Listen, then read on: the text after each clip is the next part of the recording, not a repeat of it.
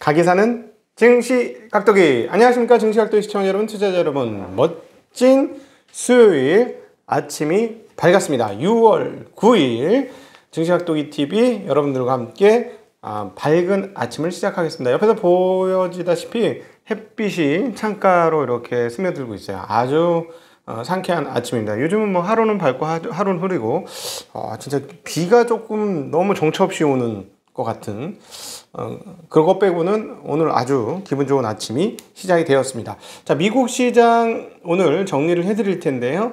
오늘 시, 미국 시장에서 가장 특징적인 부분은 음, 그동안에 이어왔던 흐름들이 지속되면서 그 중에서도 채권 시장의 강세가 더 강화되었다라는 점이 가장 특징적인 부분입니다. 과연 이 부분들이 아, 향후에 어떻게 시장에 영향을 미칠지를 아, 잘 봐야 할 것 같습니다. 음, 이 부분들에 대한 확인 증시학도이 TV 6월 9일 수요일 아침 순서에서 어, 말씀드리도록 하겠습니다. 증시학도이 TV 시작하겠습니다.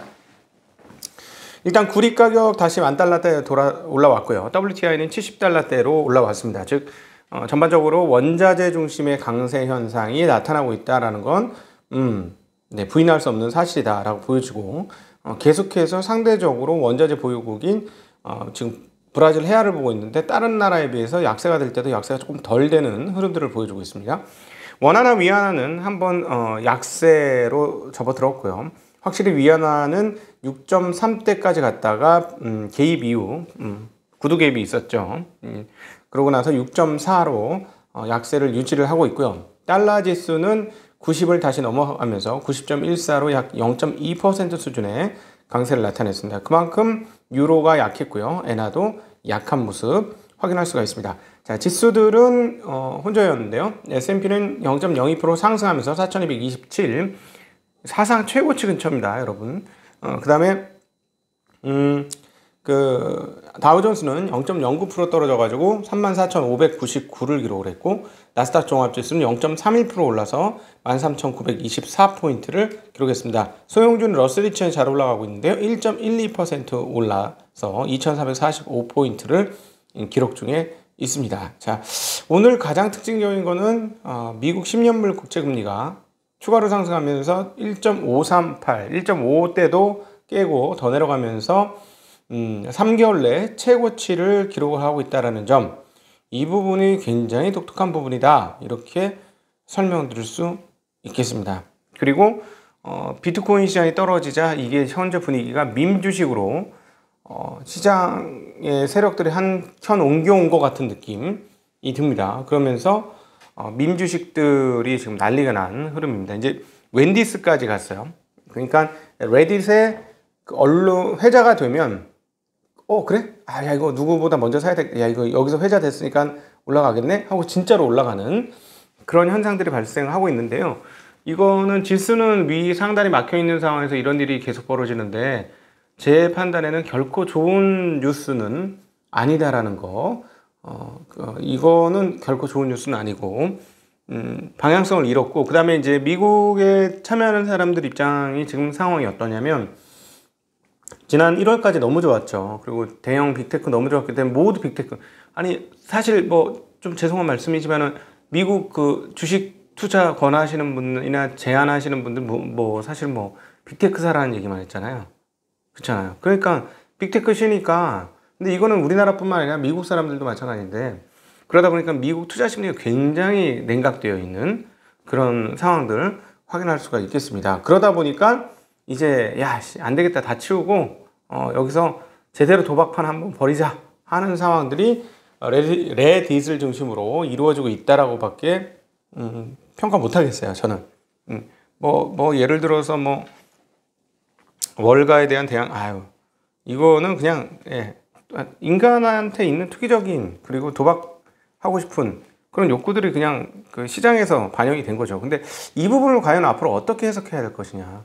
비랑 사태를 보면서 한번 딱 뒤통수 한 대 맞은 느낌이 많이 들었는데 과연 이걸 어떻게 해석해야 할 것이냐. 음. 자본이 너무 많아서이냐. 어, 유동성이 너무 많아서이냐. 물론 당연히 그래서 그렇긴 한데 과연 이걸 어떻게 해석할 거냐. 좀 고민이 되기는 합니다. 자, 오늘 시장에서 이제 핵심적인 내용 말씀드리면 음, 채권 랠리가 계속 진행되고 있어요. 근데 이제 아시다시피 오늘 이제 미국이 아, 중국에서는 생산자 물가 지표가 발표가 되고요. 그리고 어 그 주말에 소비자 물가 지수가 또 발표가 되죠. 그런데 계속 랠리야. 소비자 물가 지수 높게 나오면 어떻게 할 건데? 자, 소비자 물가 지수가 높게 나오면은 인플레이션에 대한 우려 고조되고 그 다음에 당연히 그 테이퍼링에 대한 우려 고조되면서 금리가 올라가겠죠. 근데 금리가 랠리를 뽑고 있어요. 도대체 이게 어쩐 일일까요? 오늘은 이걸 중심으로 얘기를 하도록 하겠습니다. 자, 어, 이렇게 생각하는 거예요. 그 채권 시장은 음, 조만간 발표될 소비 지표도 그렇게 크게 올라가지 못할 것이다라는 생각 하나. 그 다음에 어찌되었거나 연준이 완화적 정책을 유지할 수밖에 없는 상황이라는 사실 하나, 둘. 어, 이거를 확정적으로 확신하고 있다는 거죠. 그리고 어떤 식으로든지 장기물을 눌러주든지 어떤 식으로든지 해서 그 일종의 실질적 YCC, yield curve control, 실질적으로 연준이 장기물 금리가 올라가지 않도록 장기물 채권을 뭐 사준다던가 뭐 이런 식으로 해서 금리를 막아줄 거라는 확신이 채권 시장에 있고 그래서 그들만의 랠리를 만들어 가는데 저는 이 부분이 금융시장의 위험 요소가 되고 있다라는 판단이 됩니다. 왜냐하면 상식적인 차원으로 봤을 때 저는 금융시장도 일단은 상식적인 눈으로 보자는 입장이거든요. 어, 결국은 왔다리 갔다리 하지만 어느 정도 상식선에서밖에 움직일 수가 없어요. 이런 거는. 그런데 지금 상식선에서 조금 벗어나 있다는 판단이 듭니다. 네. 제가 뭐, 저는 뭐, 채권을 매도한 사람도 아니고 뭐 채권 시장에 어, 제대로 참여하고 있는 사람은 아니거든요. 그래서 근데 어쨌든 이거는 경기 하방 배팅이거든요. 이런 정도면. 근데 어, 이런 일이 벌어진다는 건 채권 시장 입장에서는 음, 음, 그 자기들 나름대로 그렇게 생각하고 있다는 건데 어, 지금 이렇게 보는 거죠. 얘네들이 그렇게 보는 것은 이번에 4월 채용 공고가 나왔는데 2000년 12월부터 자료를 집계했어요. 채용 공고가. 근데 최대치를 경신했습니다. 4월 채용 공고가 930만 건으로 전월보다 무려 99만 8천 건이 늘었어요. 엄청나게 많이 늘었죠. 그래서 930만 건 인데 이게 하이를 찍었는데 이건 무슨 말이냐면 기업들이 사람을 못 구한다는 거예요. 사람을 못 구하면 할 일을 한다 못한다 못한다. 그러니까 공급 부족, 공급 병목 현상으로 인해서 경기 상승 속도가 빠르지 않을 것이다. 라고 채권 시장은 더 확신하고 있는 것 같아요. 이걸 봐서는.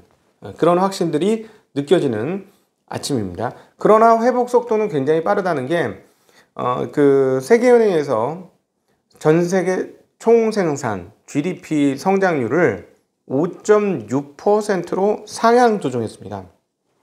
지난 1월에는 4.1%. 자, 근데 이게 전 세계 총생산 성장률이 5.6%라는 게, 야, 이게 말이 돼요. 물론 이제 중국과 미국 등 주요 대국들의 성장률이 높게 나오니까 그럴 건데, 진짜 엄청나게 높아지고 있어요. 근데 이제 작년에는 3.5% 역성장했으니까 당연히 많이 오르겠죠. 어, 그럼에도 불구하고 이 정도면은 작년에 그 꺼, 꺼진 것을 다 회복하고도 한 번만 더 이렇게 되면 완전히 오히려 강세인 흐름으로 넘어가는 어, 그런 상황들을 뭐 예상해 볼 수 있는데 하여튼 이런 정도인데도 불구하고 어, 미국 채권 시장은 경기가 안 좋다 안 좋아 별로 그렇게 너희들 생각하는 것만큼 안 좋아 우리 판단에는 이렇게 얘기하는 것처럼 저는 들렸습니다. 미국의 성장률도 어, 그 6.8%로 엄청나게 올렸어요. 기존에는 3.5%였는데 세계은행의 전망치가 이렇게 올리는 어, 모습을 보여주었습니다. 음, 반면에 소기업 낙관 지수는 4개월 만에 첫 하락하면서 어, 떨어졌습니다. 소기업들이 이렇게 되는 건 고용하고 분명히 관련이 있겠다라고 보여주고요. 어, 독일의 그 유럽 경제 연구센터가 6월 경기 기대 지수를 뽑았는데 79.8을 기록했다라고 어, 발표했습니다. 전월은 84.4로 20년 만에 최고치였는데 이게 좀 떨어졌어요. 그럼에도 불구하고 뭐 낮은 수치는 아니다. 근데 예상보다는 좀 안 나왔다. 이렇게 어, 정리해 볼 수가 있겠습니다. 자, 그래서 어, 앞서 모두에서 말씀드렸습니다만 원자재 가격은 계속해서 상승하고 있습니다. 그래서 원자재 쪽에서는 확실하게 인플레이션을 반영하고 있다는 게 느껴지고요. 어, 원자재 시장은 인, 인플레이션인데 채권 시장에서는 인플레이션 안 와라고 생각하고 있고, 음, 오늘 이제 중국에서 생산자 물가지수가 발표되고요. 어, 우리가 여기서 생각해야 될 건 생산자 물가지수 대비 소비자 물가지수가 얼마큼 빠질 것이냐도 보셔야 되고 전월 대비 생산자 물가지수가 어떻게 될 것인지도 보셔야 되는데 오후 중국 마감에서 이 부분 조금 더 다룰 수 있도록 어, 그렇게 하겠습니다. 자, 여러분 함께 해주셔서 진심으로 감사드리고요. 음, 자, 그냥 제가 걱정하는 건 이거예요. 채권 시장이 이렇게 랠리를 뽑았는데 채권 시장과 다른 상황들이 진짜로 펼쳐지게 될 경우 채권 시장이 당황하지 않을 수 있을 것이냐는 거고요. 그 다음에 채권 시장이 당황해서 금리가 갑자기 뭐 폭발적으로 올라. 그래서 지금 1.5인데 갑자기 1.68, 뭐 1.7 이렇게 올라가 버리면 그쪽에서의 혼동이 다른 데로 전이가 안 될 것이냐는 거예요. 아마 전이될 가능성도 있다라는 거죠. 그래서 당분간 이 부분에 대해서 좀 잘 지켜보시면 좋을 것 같습니다. 유가도 70달러를 넘어선 다음에 계속 쉽게 떨어지지 않고 음, 고공행진을 계속 진행하고 있습니다. 계속해서 느껴지는 것은 원자재는 인플레이션을 반영하고 있다라고 보, 표현을 드려도 어, 뭐 큰 무리가 없는 그런 상황이 진행되고 있습니다. 자, 이따 오후에 여러분 어, 뵙도록 하겠습니다. 인사드립니다. 안녕.